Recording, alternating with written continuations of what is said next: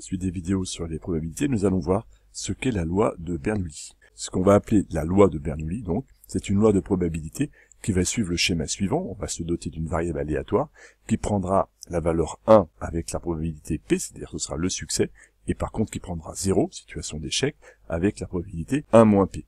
On peut la représenter avec un arbre, et donc on a deux issues, probabilité P d'avoir un succès, 1 moins P d'avoir un échec, et donc la variable aléatoire prendra 1 pour le succès et 0 pour l'échec, ce qui permettra donc de comptabiliser le nombre de succès.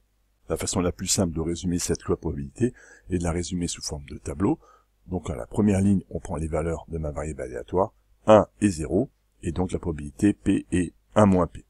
On va se donner donc un exemple pour essayer de comprendre un peu mieux de quoi il s'agit, ça va être extrêmement simple. On appelle x la variable aléatoire qui suit la loi de Bernoulli de paramètre 0,6. Donc le paramètre 0,6, on comprend bien que c'est le paramètre de succès, c'est donc le petit p. Alors ça signifie que l'expérience aléatoire, elle ne possède que deux issues. Cette information-là, elle vient là de d'avoir une loi de Bernoulli. Bernoulli veut dire qu'il n'y a que deux issues.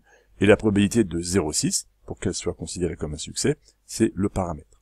Donc ce qu'on vous demande, c'est d'arriver à traduire cette information-là, loi de Bernoulli de paramètre 0,6, ça veut dire il n'y a que deux issues et j'ai 0,6 comme probabilité d'avoir un succès. Terminer par donner ce résultat, de l'espérance donc de ma variable aléatoire quand elle suit une loi de Bernoulli, son espérance, E de x, est égale à P.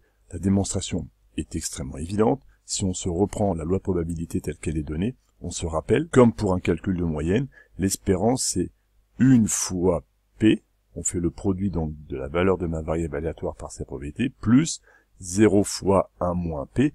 Alors 0 fois 1 moins P, ça fait forcément 0. Donc mon calcul revient à faire une fois P, ce qui fait forcément P l'espérance de ma variable aléatoire est égale à P, ce qui est logique, je fais une tentative, j'ai une, je fais une expérience aléatoire où j'ai une probabilité P de gagner, et eh bien mon espérance est donc exactement égale à cette probabilité.